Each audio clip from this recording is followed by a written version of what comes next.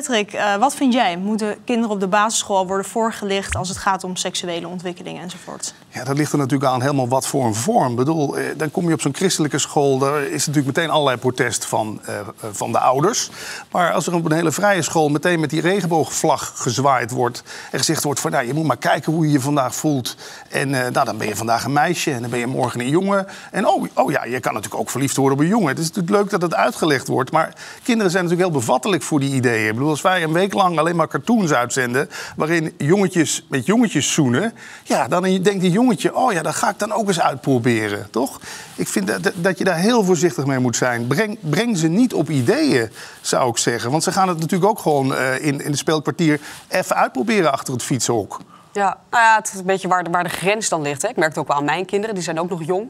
Uh, zeven en tien. Dus heel veel vragen ook al wel. Dus weet je, dat er enigszins voorlichting is, dat snap ik wel. Alleen waar ligt die grens? Ja, wat vind jij, Ab? Ja, nou, ik heb één woord voor ziek. Ja, ik, bedoel, ik, ik kan er een heel lang verhaal over houden. Ik vind het echt ziek. En ik heb afgelopen half jaar veel uh, particuliere ondernemers gesproken bij mij op kantoor. Uh, die zich zorgen maken over hun vermogen, met name ook over hun vrijheid. En er is echt een hele grote groep die al Nederland verlaten heeft met hun gezin. Met name over dit onderwerp. Hè, dat ze zeggen, luister eens, wij willen niet dat onze kinderen eigenlijk geïnfecteerd worden door dit soort denkbeelden.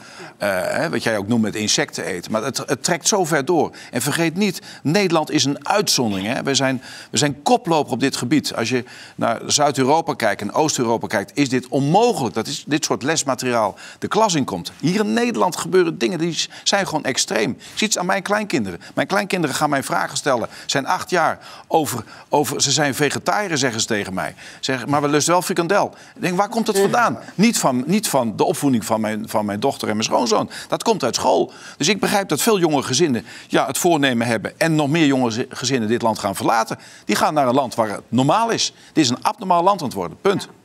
Goed, ja, ik ben natuurlijk ook heel benieuwd wat uh, de, de, kijkers dan vonden. We legden onze leden ook de vraag voor... moeten kinderen al op de basisschool seksuele voorlichting krijgen? En dat gaf de volgende uitslag. 75% vindt dat geen goed idee. En enkele leden gaven ook nog een toelichting bij hun antwoord. Ja, seksuele voorlichting in groep 8 kan geen kwaad... maar wel beschaafd, zonder opdringerig LHBTQ-gedoe. En nee, absoluut niet. Scholen hebben zich niet met dit soort zaken te bemoeien.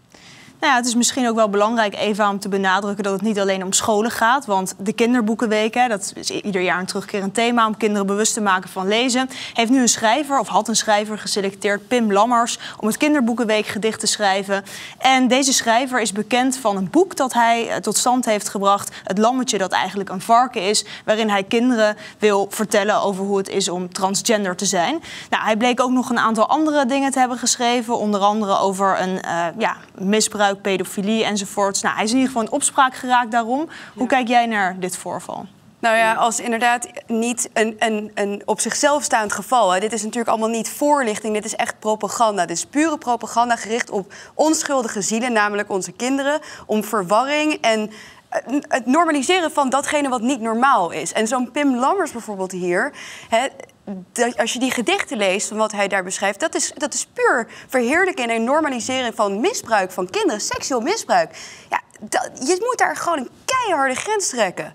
En wat ik opvallend vind, is dat er dan... Hè, we hebben het net even over Sigrid Kaag en over onze uh, premier Mark Rutte gehad.